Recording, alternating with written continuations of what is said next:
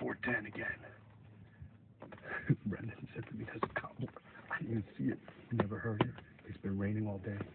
Uh, just shot him. He just dropped. Way to go. Congrats, bud. Thanks.